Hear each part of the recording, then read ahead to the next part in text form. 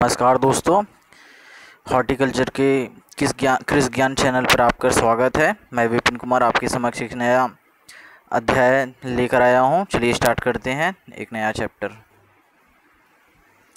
which one of the following is the dwarf source of wit इसका जो सही जवाब है दोस्तों, वो है Norin ten is the right answer next question आते हैं दोस्तों। Which of the following system accommodated more number of plants per hectare इसका जो सही आंसर है दोस्तों, वो है किनकनक्स नेक्स्ट क्वेश्चन आते हैं दोस्तों. Sun scald is a problem in which of the following training system इसका जो सही जवाब है दोस्तों ए वाला है सेंट्रल लीडर सिस्टम जो होगा, इसका सही जवाब होगा। नेक्स्ट क्वेश्चन आते हैं दोस्तों. Blossom end rot blossom end rot in tomato is due to deficiency of किसकी कमी के कारण होता है? ब्लॉसम एंड रॉट इसका जो सही आंसर है दोस्तों, वो है calcium is the right answer next question आते हैं दोस्तों. मैक्सिमम प्रोसेस्ड वेजिटेबल जो है, वह कौन सा है? ये चार ऑप्शन में। इसका जो सही जवाब है दोस्तों, वो है tomato is the right answer next question आते हैं दोस्तों. Post harvest losses account up to जो पोस्ट हार्वेस्ट लॉसेस होता है, वो कितना होता है? जो इसका सही जवाब है, वो है twenty five percent next question आते हैं दोस्तों। Prevention of food adulterations act कब पास हुआ। इसका जो सही आंसर है दोस्तों, वो है nineteen fifty four next question आते हैं दोस्तों। इनमें से हमें बताना है, वो नॉन क्लाइमेट्रिक फ्रूट कौन सा है? इसका जो सही जवाब है दोस्तों, वो है pineapple is the right answer next question आते हैं दोस्तों। Fire blight of pear is caused by, जो फायर ब्लाइट है, पेयर का, वो किसके द्वारा कॉस्ट होता है?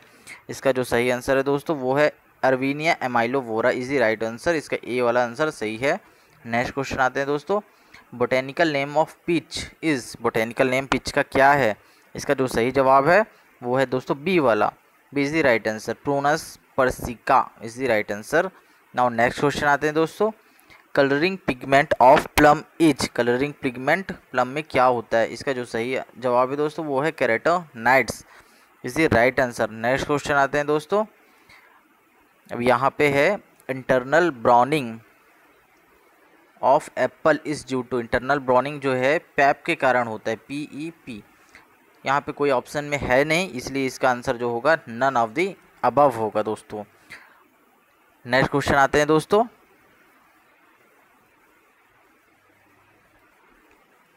Seeds of papaya having covering जो पपाया के ऊपर कवरिंग होता है सीड्स में, वो किसके कारण होता है दोस्तों? वो होता है सरकोटेस्टा के कारण। नेक्स्ट क्वेश्चन आते हैं दोस्तों। The edible part of asparagus edible part जो है एस्पर्गस का क्या होता है खाने वाला पार्ट जो इस, उसका खाने वाला पार्ट होता है, वो है, होता है स्पेयर नेक्स्ट क्वेश्चन आते हैं दोस्तों।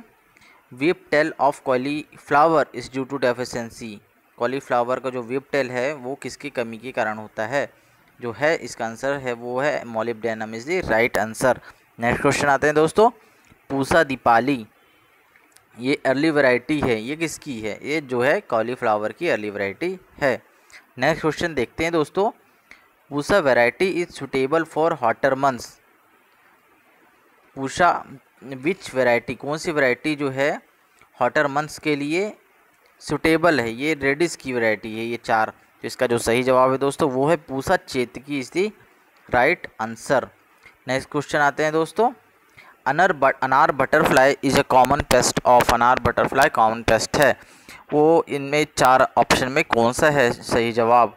अनार बटर फ्लाई है ना दोस्तों? ये है pomegranate is the right answer anar butterfly का जो बटे साइंटिफिक नेम होता है वीराकुला आइसोक्रैट्स होता है वीराकुला आइसोक्रैट्स नेक्स्ट क्वेश्चन आते हैं दोस्तों।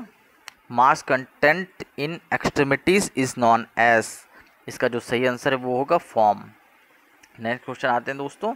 Which is not intangible enrichment item इसका जो सही जवाब है दोस्तों, वो है sundial is the right answer next question आते हैं दोस्तों।